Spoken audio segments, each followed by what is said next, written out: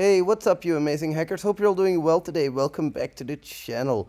Today we're going to talk about the different types of bug bounty hunter. I want to know which one do you most recognize yourself into? Let me know in the comments below.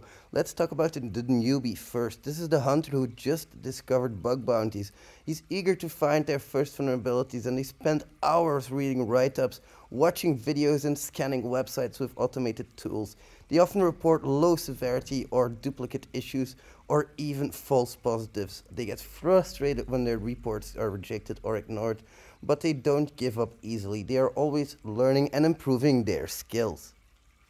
The pro the pro is a hunter who has years of experience and has a solid reputation in the bug bounty community. They know how to find high impact and complex vulnerabilities that require deep knowledge and creativity. They often report critical or rare issues that earn them big rewards and recognition. They have a professional attitude and communicate clearly and respectfully with program owners they are always looking for new challenges and opportunities. On to the hacker. The hacker is a hunter who has a passion for hacking and breaking things. They enjoy finding vulnerabilities that allow them to compromise systems or access sensitive data. They often report exploits or proof of concepts that demonstrate the impact of their findings.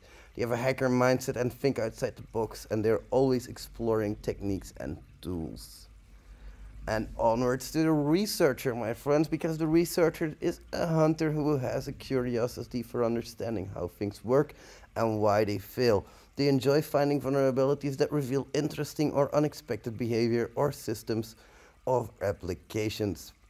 They often report bugs that are related to logic flaws, design flaws, or obscure features, and they have researcher mindsets and think analytically and systematically. They are always studying new topic and domains.